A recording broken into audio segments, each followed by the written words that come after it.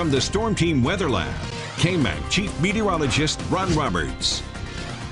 Well, the reason why it was so windy today was the storm system is moving our way. It tightened up the pressure gradient just a little bit. And this is kind of a map to kind of explain what's going on. And you know, the weather does impact many of us, right? So we can, and some of us, I know my sister's this way, uh, she can kind of feel before a cold front's on the way. Well, there it is.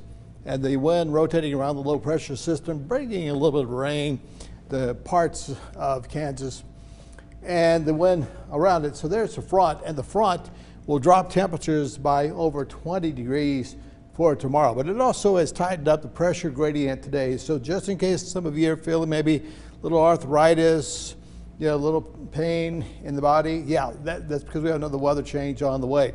Now, right now, the Slaton Light Sky View, if you look real hard, you might be able to see some brown haze, but for the most part, the wind today has not been strong enough to get the dust up in the air. And the temperatures across the South Plains, well, for the most part, have warmed up this afternoon nicely. Muleshoe's northwest of Lubbock, 78 degrees, peak wind 34. Peak wind at 38 miles per hour at Roosevelt High School in eastern Lubbock County, 81 degrees.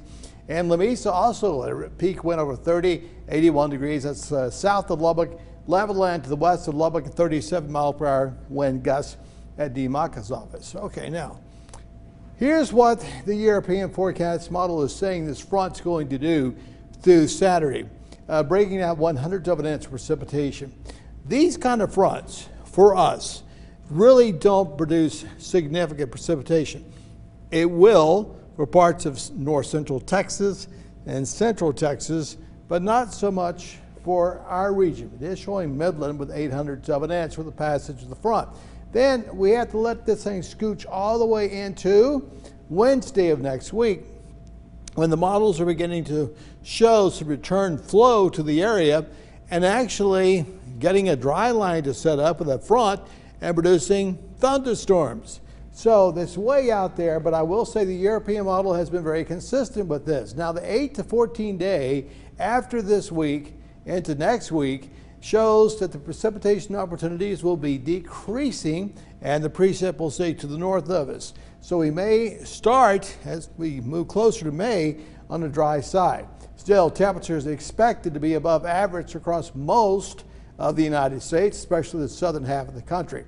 But Leslie Evans has got a rain gauge, and we will need the rain gauge, and you should be here the day it happens.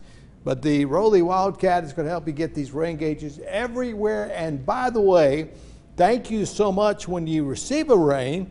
You send us a photo and let us know how much you received, and you tell us your location too.